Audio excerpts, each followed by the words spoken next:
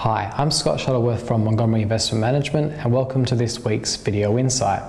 Today we take a closer look at the reverse takeover deal proposed between M2 Group and Vocus Communications. For those unaware, M2 is the entity which owns brands such as Dodo and Primus, whereas Vocus has traditionally been a telecom infrastructure provider for corporates.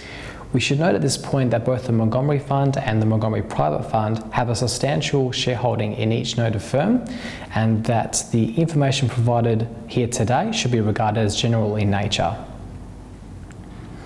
The two main benefits we see for the merged company are a lower amount of subscriber churn on the M2 side and more sales for the Vocus side.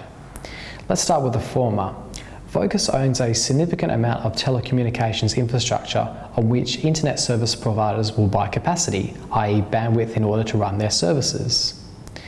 By buying more capacity, an internet service provider can improve the quality of its service, but it comes with the cost of reduced profitability.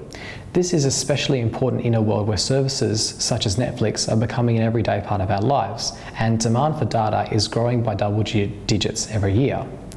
By improving performance, theoretically, an internet service provider can keep its customers happier, which encourages those already using the, their service to stay, as well as enticing new customers.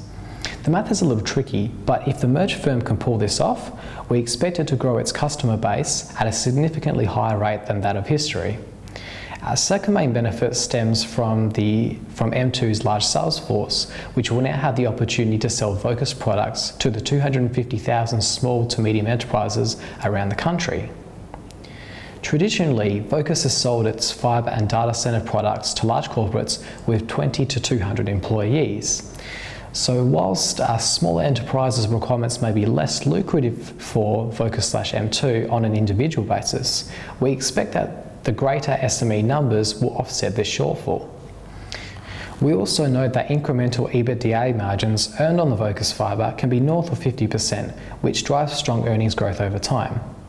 It's difficult to put hard numbers around the, the latter opportunity, but based on some rough, rough estimates, we expect that the merged firm will have bright prospects and be worth significantly more in the future. That's all for this week. Please follow us on Facebook and Twitter, and we'll look forward to seeing any comments that you have.